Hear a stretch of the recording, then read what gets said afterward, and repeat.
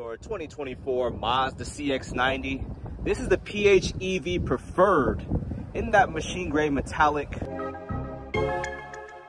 Architects. I'm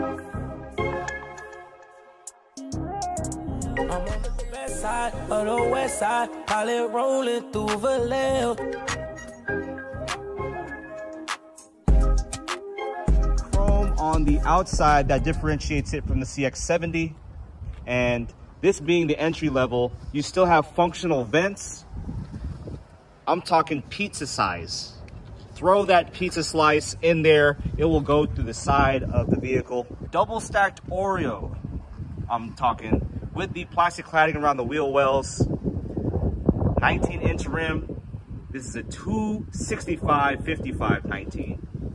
Toyos meant to last. Look at that Kodo design with your CX-90 PHEV model. See how much space. Woo. Three seats in the middle, three seats in the rear. Also, if your carport is too high, you can set the setting. You have to use the app or the key. You have the groove here. So if I have my hand here, advanced keyless entry. And this is what Mazda is excelling at with the 90 degree door opening. Going on that adventure to Tahoe, you can fit three kids there. I'm five foot eight, so I'll be back there for a couple hours. Tahoe is pushing it, and you can definitely push this in the snow. 60, 40 split there in the middle, and also 60, 40 on the drivetrain.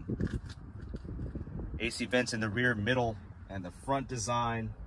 Wood and stitching, heated seats, eight speed automatic, two USB-Cs in that center console.